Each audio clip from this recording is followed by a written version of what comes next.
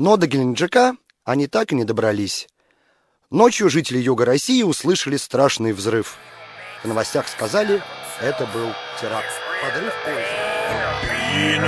поезда.